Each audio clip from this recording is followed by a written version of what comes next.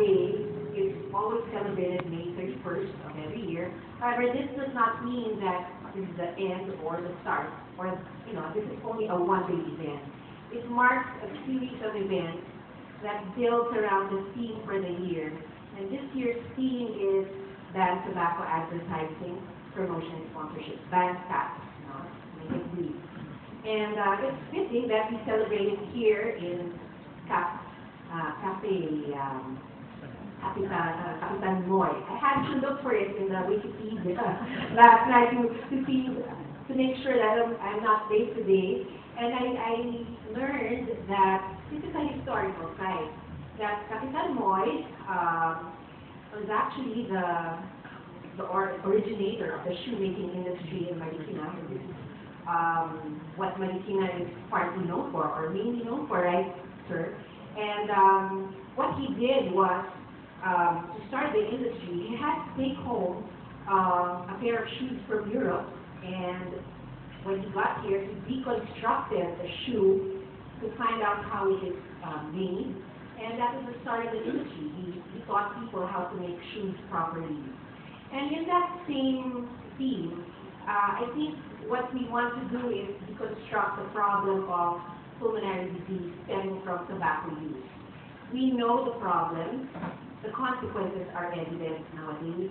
Chronic lung diseases in the form of COPD, uh, lung, lung malignancies, and other non-communicable diseases like heart conditions, uh, cardiovascular and coronary vascular diseases.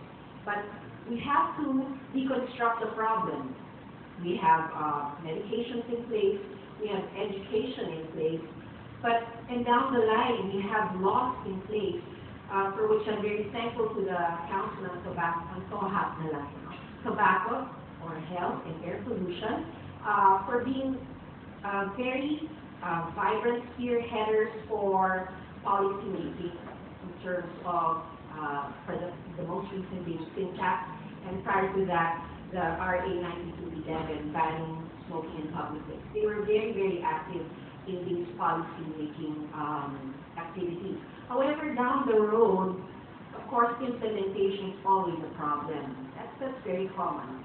And uh, we have to help each other in ensuring that implementation is, is conducted properly. no?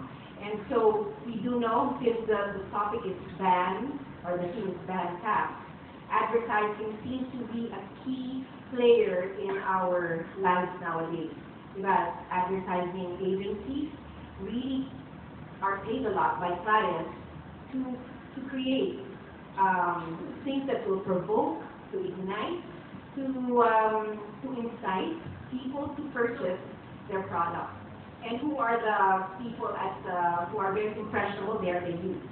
And so what we'd like to do is uh, raise awareness that although there are no advertising advertisements that are uh, evident in the radio programs or TV or in movies, movie houses, um, here in the nearby stores, maybe we should be more vigilant. And we'd like your help, um, our partners in the media industry, to uh, raise the awareness that we should be more vigilant with regards to this.